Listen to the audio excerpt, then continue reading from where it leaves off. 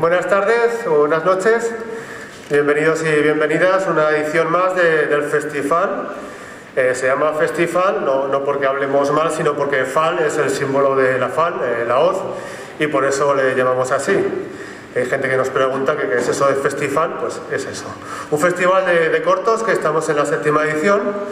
una edición muy, muy, especial. Eh, cuando nos reunimos para ver qué hacíamos, si se celebraba no se celebraba, con la incertidumbre también de la propia pandemia, de los aforos, porque claro, eh, el festival se celebra ahora en noviembre, pero se empieza a preparar a principios de año, hay que presentar unas bases para que pues, eh, puedan enviar los trabajos con tiempo. Y es cierto que a principios de año todavía era la cosa bastante incierta y decidimos, pues bueno, no convocar este año el certamen, dejarlo simplemente como una muestra que sirviera este año como recordatorio de todos esos cortos que, han sido seleccionados por los diferentes jurados como los mejores. Y, pero que se siguiera celebrando el festival evitándonos pues todo lo que sería eh, las limitaciones de la, de la, pandemia. No cabe duda que, que, ya es hora que podamos reunirnos, aunque sea en medio de esta pandemia y tengamos que estar un poquitín separados y guardar un mínimo de distancia. Pero lo que sí es cierto es que se echa en falta ya. La, la dirección del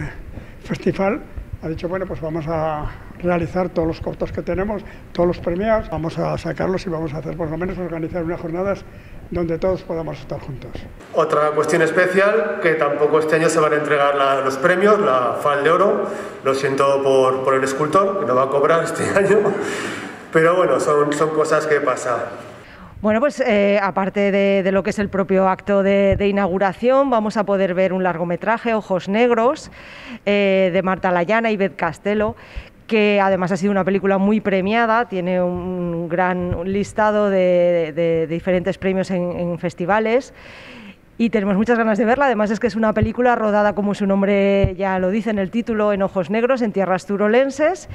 Y como es un largometraje, bueno, pues hoy eh, es eso lo que, lo que tenemos como programación. Me gustaría poder transmitir a todo el pueblo de Urrea que esta ilusión que ponen todos los jóvenes de Urrea en que el festival siga adelante, ¿eh? la Asociación de Mar de Casa, ¿eh? que toda la gente que se implica en todos estos actos eh, mañana ya vamos a ver pues todos esos cortos. Empezaremos, como ya es costumbre, con, con, los documentales, además en orden cronológico, desde el primero en 2009 pues hasta el último de la, de la última edición del 2019 y por la tarde continuaremos con los de ficción. Un festival muy esperado y que ha estado pendiente de este maldito virus que hemos tenido durante este tiempo, pero que parece que vamos dejando un poquito ya atrás. Hemos pasado unos tiempos muy duros, por eso Tener el certamen como este nos llena de esperanza y por fin la cultura del cine está otra vez presente entre nosotros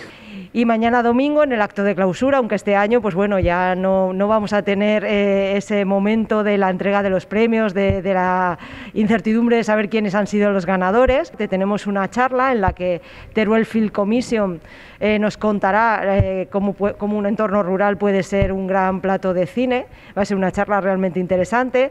a la que además acudirá eh, el, el diputado Diego, Diego Piñeiro, y después vamos a tener casi casi en estreno, no podemos decir en total estreno, porque es cierto que, ya se vio una primera versión en, Teruel, en Albarracín, pero vamos a tener un espectáculo en el que eh, se va a conjugar el visionado de imágenes con música en directo, con tres músicos, eh, se llama Más que Magia Cine, eh, segundo de Chomón, y bueno, porque está, digamos que es el protagonista de, este espectáculo, es que, que, segundo de Chomón además, este cineasta turolense, estamos en el 150 aniversario de, su nacimiento y además, bueno, pues también incluye un pequeño corto que es Tren a Saturno, que parte, una, parte de, de ese documenta, de ese pequeño corto está grabado aquí en Urrea de Gaén.